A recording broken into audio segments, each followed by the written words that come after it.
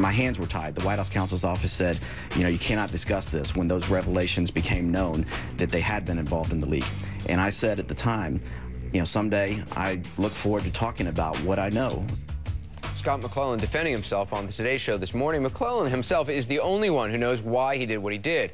As for whether he did the right thing by writing the book, let's talk about that. CNN senior political analyst David Gergen is here, and Bruce Weinstein, ethics columnist for BusinessWeek.com. Bruce, in, in, your blog for us today, you said that he had an ethical obligation to write this book. That's right. Why? Because there is no statute of limitations on telling the truth. And yes, it's important to be loyal, but it's more important to be truthful, especially when their lives are at stake, as, as they are in this case. Uh, so assume, he, you're assuming that what he's saying is all truthful. Well, yes, and in fact, there was a CNN quick poll done this morning. 95% of the people surveyed this morning on American Morning said that they believe McClellan is more credible than the White House.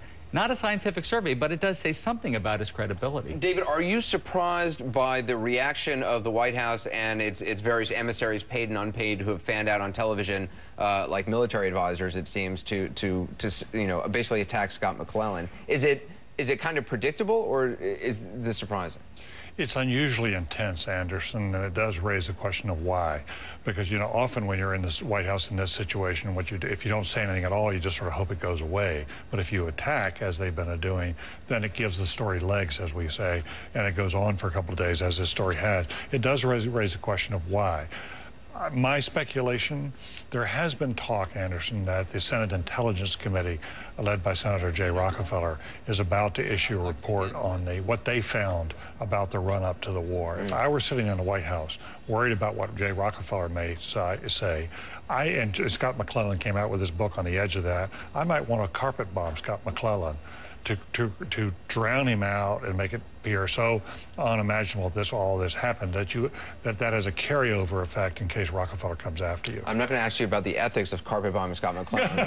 I sense it's not ethical. Well, uh, but, carpet bombing is book. Yeah, the book. Okay, but uh, if it, I may just say, yeah. what's fascinating about the hue and cry over the last several days is that there's been so much focus on the motivation for mm. McClellan writing this. You know, was he disgruntled? Is he doing it to cash in? As opposed Does he feel guilty? Saying. That's right. But there's very little criticism about the truth content. And if you had to weigh which question is more important, the psychological or the ethical, isn't the ethical issue really more important in this case?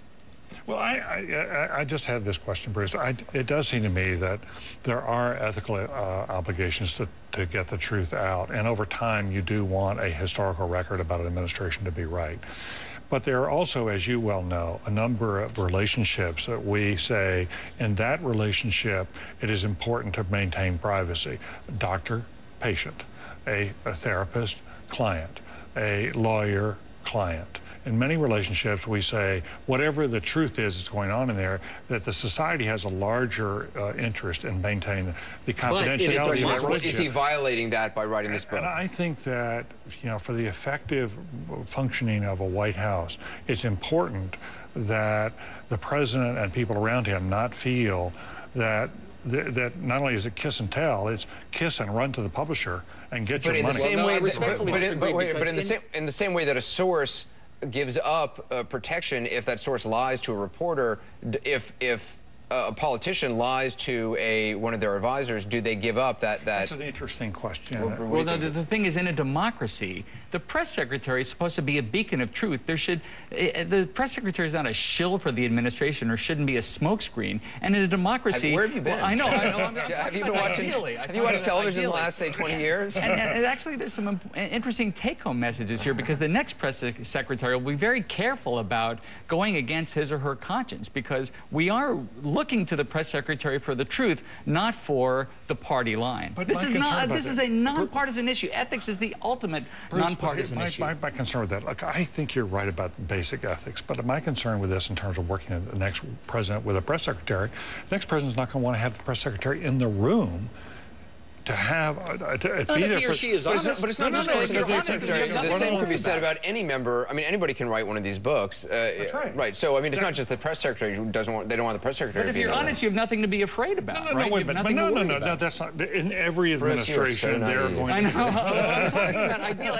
Why is it too much to ask for the truth? I mean, you know that Warren Beatty did this uh, comedy a few years ago that was a satire because it, it, it was premised on the auda audacious idea that a politician would speak the truth truth. I do want to Why just- should that be a comedy? I want to read something that uh, that Scott McClellan said about Richard Clarke, a former Bush official who wrote a book. And this is what Scott McClellan said at the time that he wrote that Richard Clarke came out with this book. Scott McClellan said, "Why all of a sudden, if he had all these grave concerns, did he not raise the, them sooner? This is one and a half years after he left the administration. Now all of a sudden he's raising these grave concerns that he claims he had." Yes, he Just should have spoken so. up earlier, but you know what? It's never too late to right a wrong. Yes, he should have come out earlier, but does that mean because he didn't come out earlier, he should never speak the truth to power? Absolutely. Final Wait a minute. What we, among other things, as you well know, there are many versions of truth. Oh no! What? And- no, and I, this I, is version of the truth. No, no, no. And no. that's- There he says that in the book. truth. He says There is this a is truth. his This is his take, and, it, and it's a limited view of what the truth is.